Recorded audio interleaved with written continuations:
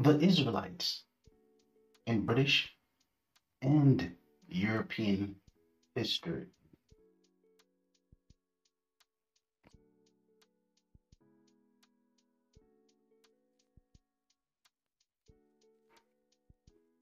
Universal Center for Renovation presents historical and biblical Israelites.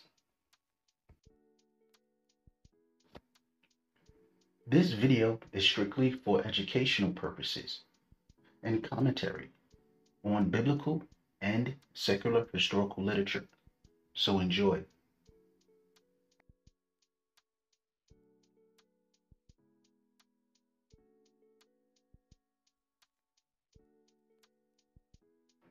This video is about the Israelites, the biblical Israelites in British and European history. Most of us have read the stories or at least heard the stories of the biblical children of Israel, of Moses and Joshua, King David and Solomon. And many of us was amazed by these strange biblical narratives.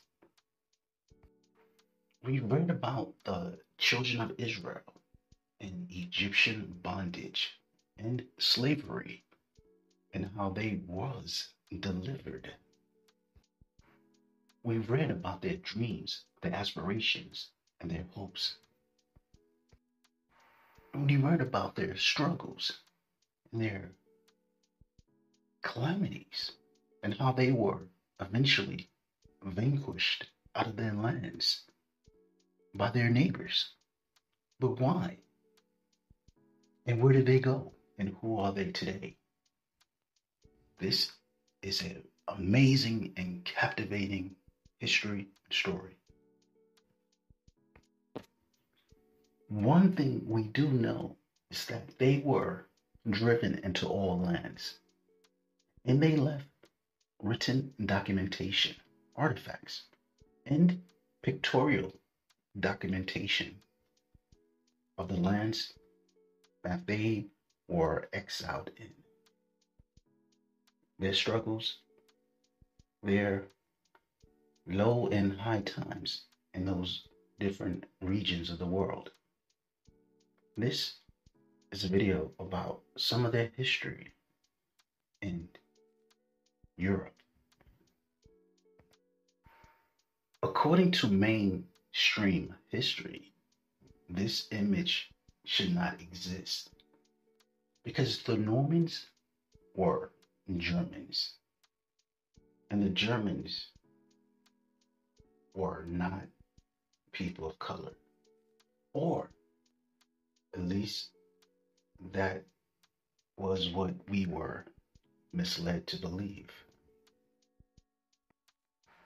And here we have a artifact pictorial representation of a knight from medieval European history. Obviously, you can see that he's a man of color and he's standing next to his lady. He's no ordinary knight. He wears a crown. Unfortunately, on his chest was his coat of arms, but the symbol has been washed away. We can only imagine who this knight was, his family, origin, or line. This is from Sex and Race, Volume 1 by J.A. Rogers. And the caption reads Negro Norman Knight with his lady. But to show what many might consider a random image of one Norman knight might not lead to the conclusion that there were many Norman knights who were people of color, many German knights who were historically biblical Israelites. But we have to take this history and context. So this doesn't seem to be an unordinary image or picture. We have to show that this image was the norm. So let's begin with a little continental European history. 500 years before the beginning of the Roman Empire, which started in 27 BC, about 500 years before that, the prophet Daniel, the Israelite prophet Daniel, who was living in the Near East, Babylonia, Babylon, today modern Iraq and the Near East. He prophesied and correctly predicted the rise and the fall of the Roman Empire. Daniel had visions of events that would occur 500 years into the future. Let's listen to some of Daniel's records of this future history. After this, I saw in the night visions, and behold, a fourth beast, dreadful and terrible and strong, exceedingly, and it had great iron teeth. It devoured and broke in pieces and stamped the residue with the feet of it. And it was diverse from all the beasts that was before it, and it had ten horns. Daniel chapter 7, verse 7. The prophet Daniel predicted the rise and the fall of the Roman Empire. Daniel lived in the 6th century BCE in the Near East. Read the whole chapter of Daniel or the book of Daniel, chapter 7, to read about the predictions of the different empires or the four successive empires that will come to rule from the time of Daniel into the time of the Roman Empire. Daniel correctly predicted the Roman Empire rulership and its downfall. The Roman Empire controlled a great part of the ancient world, from the Near East, Europe, and North Africa, Great Britain to France, Germany, Spain, Italy, Eastern Europe, Turkey, Syria, the Near East, Egypt, and North Africa. Originally, the children of Israel had 12 divisions known as tribes. The different empires of the Near East Assyria, Babylon, Medes and Persians, Greeks, and finally the Romans went to war with the 12 tribes of Israel. In the days of the Romans, there were only three tribes left Judah, Benjamin, and Levi. The other tribes were expelled out of their lands. And eventually, the Romans expelled the last three tribes of Judah, Benjamin, and Levi. Europe in 350 AD, just before the collapse of the Western Roman Empire. The Western Roman Empire is color coded in the color green. The purple is the Eastern Roman Empire. The Eastern Roman Empire, color coded in the color purple, would be later known as the Byzantine Empire.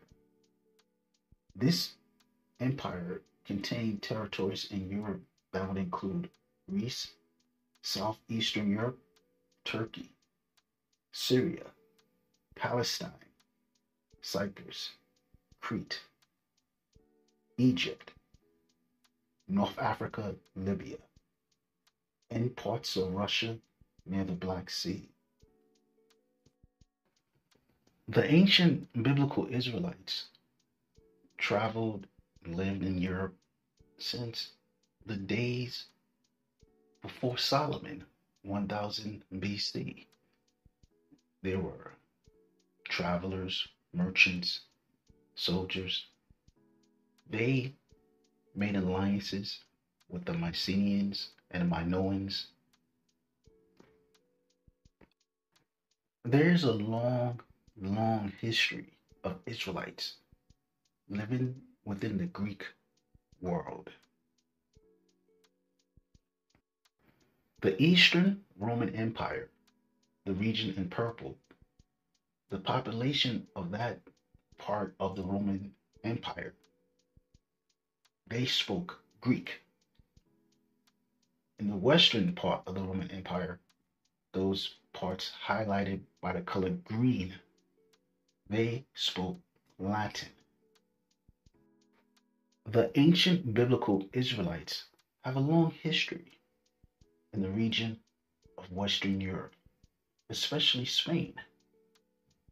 Ancient Spain was known biblically as Tarshish, and King Solomon sent ships to Tarshish. He had navy ports for his navy in Tarshish. Israelites have a long history with Western Europe before the Roman Empire. The Western Roman Empire included areas such as parts of North Africa, Spain, France, Germany, Britain, southeastern Europe, and Italy, Sicily, Corsica, Sardinia. This map is a map of the Roman Empire divided east and west around the time 350 AD. In this period in history, both the east side of the Roman Empire and the west side of the Roman Empire, both sides were being controlled by Israelites who rose up in the ranks, the military ranks. Also, many were senators. They were rulers of the Roman Empire by this time. So, this map indicates Europe under Roman occupation. And each of these little Roman soldiers indicates or pinpoints an area of Roman occupation and territory controlled by Rome. As you can see, the only area in Europe or areas in Europe that wasn't controlled by Rome was controlled by Germanic barbarians. But these Germanic barbarians, the ruling class, consisted of biblical Israelites that were living in Germany since the time of the Assyrian Empire.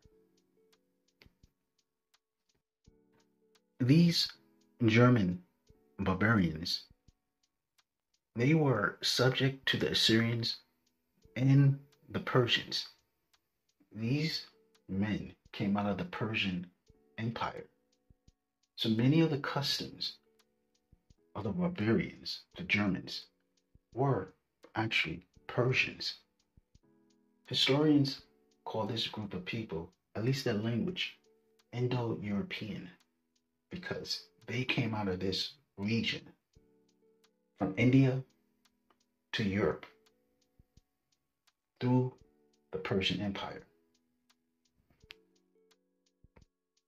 And this soldier on the top, an orange, this soldier on a horse, this German barbarian, represents regions in Europe controlled by the Germans and not the Romans, East Romans or West Romans. These Germans would be the future rulers of Western Europe.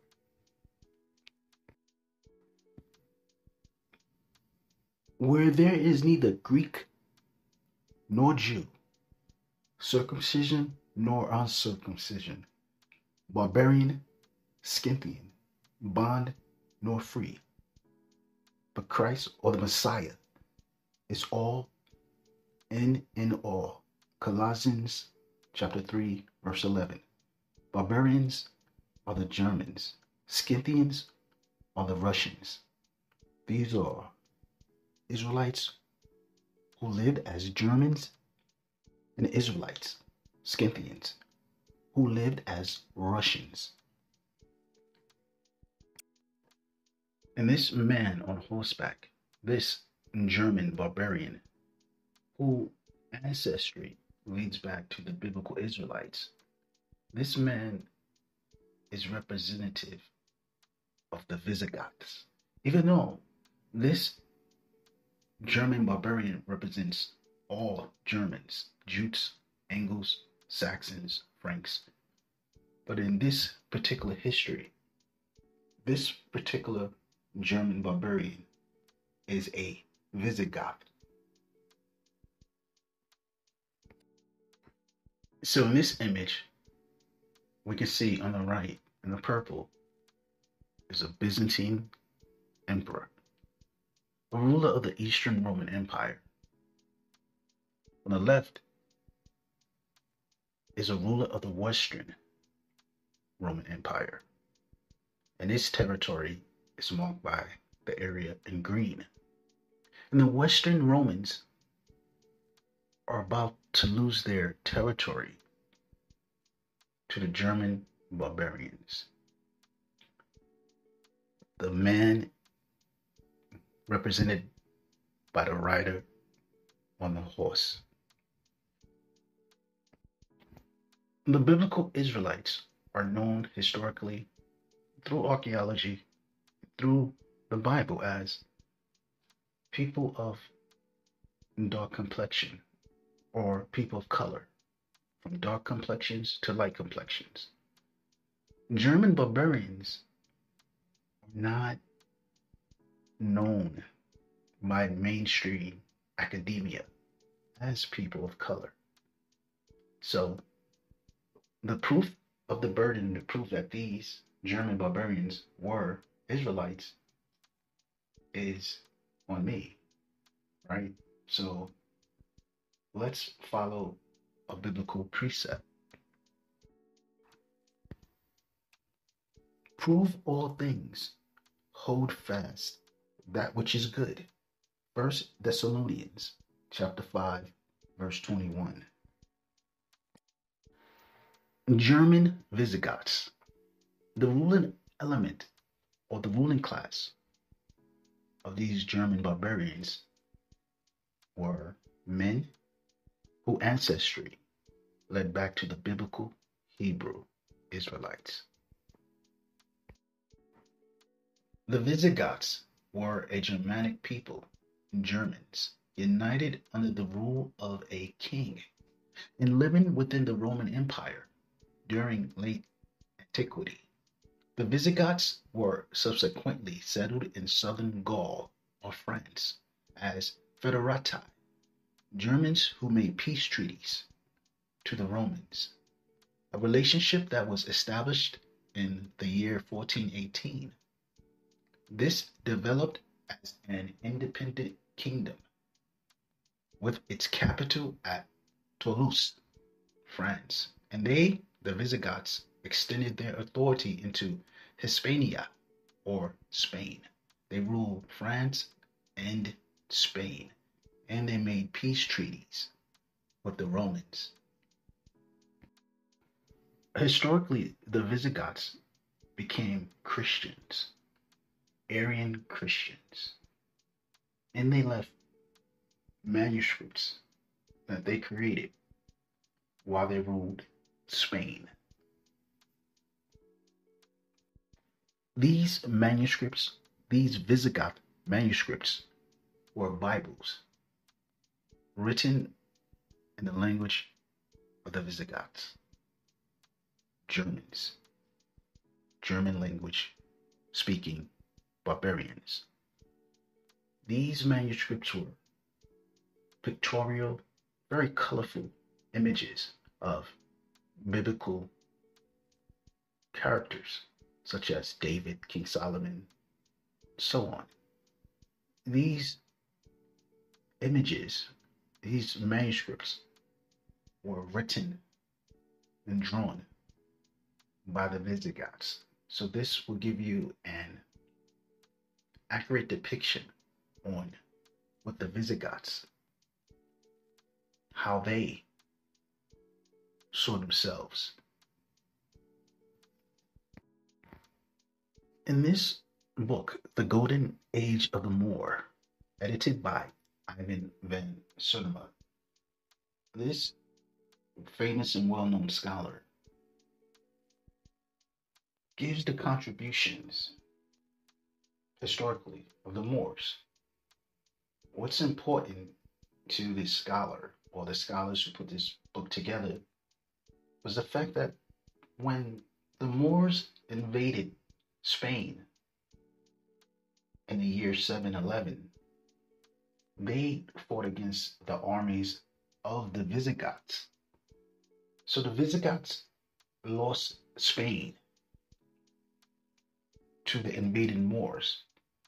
So the Visigoths played a vital role in history as the German barbarians who lost Spain. In this book, The Golden Age of the Moor, on page 53, there's an image from a Visigoth manuscript. It's labeled Figure 18. Black Christian soldier of Spain, Visigoths, fighting invading Moors of 710 to 711. These are the guys, the Visigoths, that lost Spain. This manuscript dates from 1150 AD image of German Visigoths, the ones who lost Spain to the Moors, black Christians, soldiers of Spain, fighting, invading Moors. This image on the right is from the book, The Golden Age of the Moor. But the image on the left is the actual manuscript image, the Visigoth manuscript of the exact same image and soldier. This black Christian soldier, Visigoth, German, of Spain. And this is an image of the complete picture. These manuscripts are kept in Madrid, Spain. These are invaluable images because these are the images of the original protectors of Christian Europe, German barbarians, Visigoths, who fought against the invading Muslim armies of Moors.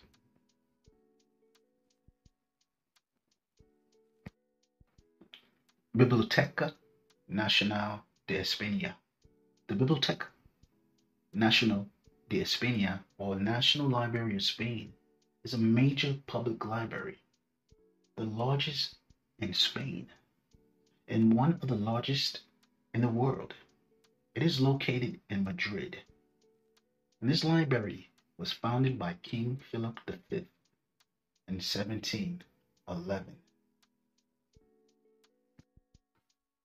These images of Christian Visigoths of Spain are not only national treasures for Spain, but national treasures for Christian Europe, and also artifacts and proof that the Visigoths, the Germans of Europe, at least the ruling class, were people of color. These people of color, historically, were children of the biblical Hebrew Israelites.